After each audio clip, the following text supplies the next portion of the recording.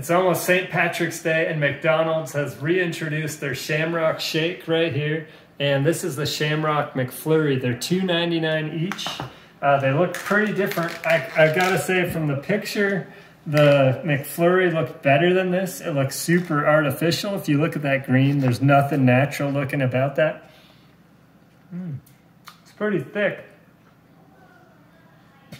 Mm. It's got a little bit of an artificially mint taste. And then this one just looks funky. That's like an incredible Hulk flavor. Mm. Wow, they're very different. This one's full of Oreo chunks. It's a stronger flavor.